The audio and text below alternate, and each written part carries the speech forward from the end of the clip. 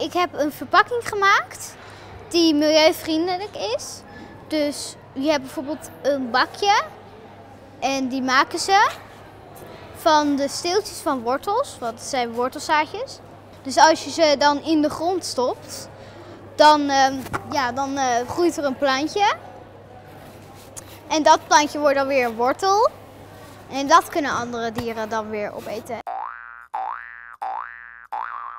Mijn probleem is dat het zeg maar eh, dat er dan verpakkingen van voedsel en zaadjes en wat dan ook, dat dat dan eigenlijk ja, plastic van plastic is gemaakt.